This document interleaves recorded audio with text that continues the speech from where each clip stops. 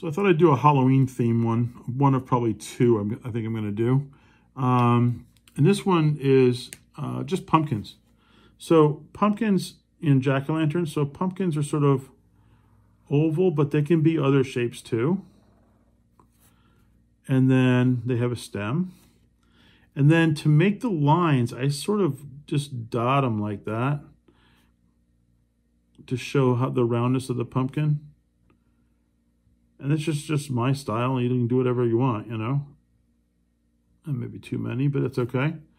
Um, and depending on what you want to do for um, for jack-o'-lanterning, I'm going to do a black, which is why I drew the lines like this. So I'm going to make evil sort of eyes on my jack-o'-lantern like this. And I sort of fell into this on a project, a, you know, first grade art project I was working on with the art teacher and my kids. And I try to participate along with the kids to sort of inspire them to to work. Um, I'm going to make sort of an evil smile, not even toothy.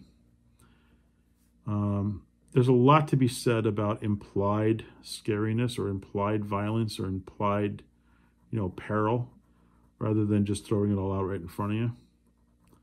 So, you know, an evil smiling pumpkin like this without teeth to me is just as scary, perhaps even scarier sometimes, than one with a lot of teeth and stuff on it because, you know, the teeth are there. It's like, you know, I know something bad's going to happen. And this one was like, I'm not sure if something's going to bad, something bad is going to happen or not. So, um, so this is my pumpkin. Um, obviously, if you're going to do uh, a one with lit inside, like maybe you want to color them yellow or something like that, you're going to have to do the eyes first. So do the eyes first.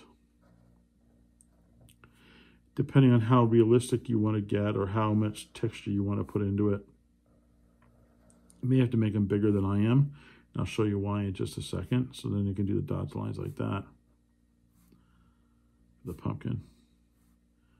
The reason I say sometimes you may have to make it bigger is if you come up here like this and do one, and you make it bigger, make the eyes bigger, the nose bigger, the mouth wider. Now you can go back in and add the thickness of the pumpkin because you know pumpkins are pretty thick when you cut through them, right? They're like big, thick squash things. So then this would be your black area up here. I'll just do this really quickly. I'm not going to like completely color it in, but these would be your black areas, your dark areas, or your light areas, like your yellow areas if you're putting light in it. And then you'd play with two different kinds of orange,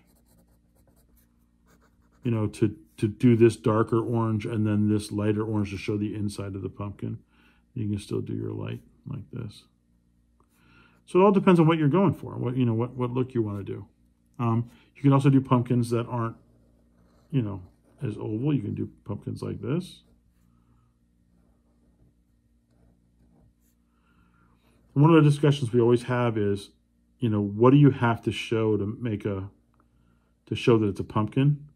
So I would guess, you know, in this one, you know, we've got the shape, we've got the stem. If we do the lines, that is still a pumpkin. And then, of course, color is going to help you too, which I'm not going to do right now. All right?